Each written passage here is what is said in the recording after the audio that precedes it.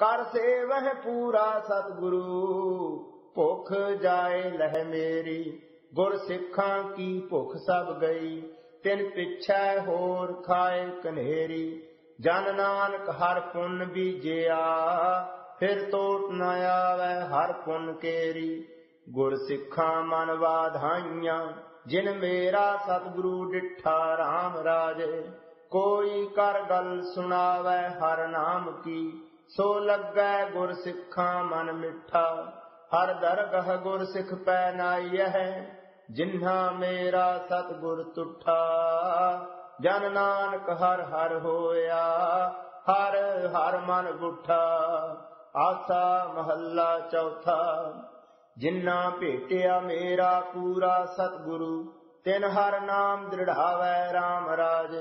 ਤਿਸ ਕੀ ਤ੍ਰਿਸ਼ਨਾ ਭੁਖ ਸਭ ਉਤਰੈ ਜੋ ਹਰ ਨਾਮ ਧਿਆਵੈ ਜੋ ਹਰ ਹਰ ਨਾਮ ਧਿਆਏਂਦੇ ਤਿਨ ਜਮ ਨੇੜ ਨ ਆਵੈ।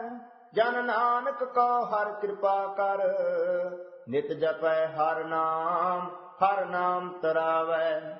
ਜਿਨੀ ਗੁਰਮੁਖ ਨਾਮ ਤੇ ਆਇਆ, ਤਿਨਾ ਫਿਰ ਬਿਗਨ ਨਾ ਹੋਈ RAM ਰਾਜੇ। ਜਿਨੀ ਸਤਗੁਰ ਪੁਰਖ ਮਨਾਇਆ, ਤਿਨ ਪੂਜੇ ਸਭ ਕੋਈ ਜਿਨੀ ਸਤਗੁਰ ਪਿਆਰਾ ਸੇਵਿਆ ਤਿਨ੍ਹਾ ਸੁਖ ਸਦ ਹੋਈ। ਜਿਨਾ ਨਾਨਕ ਸਤਗੁਰ ਭੇਟਿਆ, ਤਿਨਾ ਮਿਲਿਆ ਹਰ ਸੋਈ।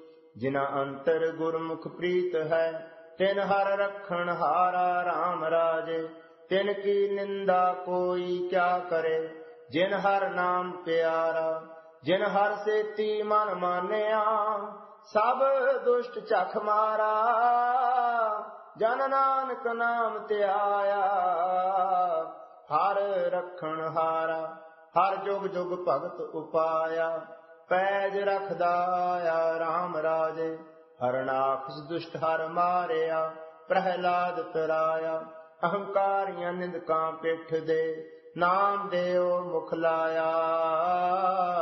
ਜਨ ਨਾਨਕ ਐਸਾ ਹਰ ਸੇਵਿਆ, ਅੰਤ ਲੈ ਛਡਾਇਆ।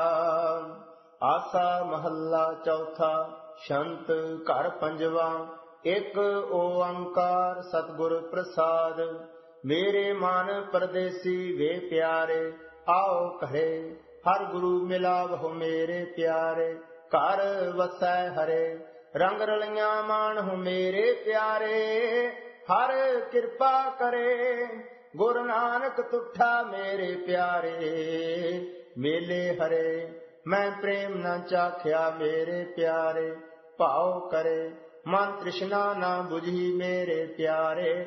ਨਿਤ ਆਸ ਕਰੇ, ਨਿਤ ਜੋਬਨ ਜਾਵੇ ਮੇਰੇ ਪਿਆਰੇ।